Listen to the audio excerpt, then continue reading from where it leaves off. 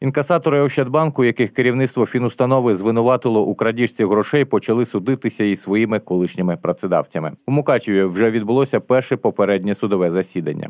На мою думку, е, мій довіритель Шкриб Василь Васильович е, є повністю правий в даній ситуації. Е, Ми думаємо виграти.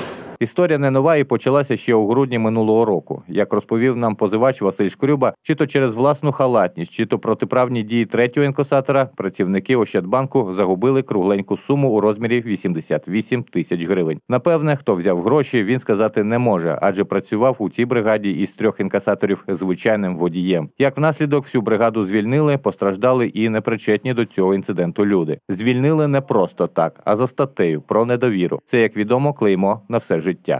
Так, я знаю, що я правий, тому що я живу в правовій державі, і треба доказати людині, що вона права, бо з людьми не поступали, як поступили із людьми, які працювали в Ощадбанку, яких позвільняли без причини, я рахую, тому що я не порушив ніякого закону, і я хочу, бо суд довів мою правоту. Пан Василь запевняє, що до жодних махінацій не причетний і сам звернувся до телеканалу, аби захистити своє чесне ім'я. Ми вирішили звернутися до обласного відділення Ощадбанку за поясненнями. Як бачите, питань у нас назбиралося достатньо. А ось що нам на них відповіли. На ваш запит повідомляємо наступне: банк власними силами виявив злочин та повідомив про це правоохоронні органи на початку 2017 року. Інкасатора було оголошено в розшук. Нещодавно співробітники служби безпеки банку виявили місце знаходження чоловіка та сприяли правоохоронцям у подальшому його затриманні та доправленні до Ужгородського ізолятора тимчасового тримання. Більш детальну інформацію повідомити не маємо можливості, оскільки триває досудове розслідування. За коментарями рекомендуємо звернутися до слідчої поліції. З повагою прес-служба Ощадбанку.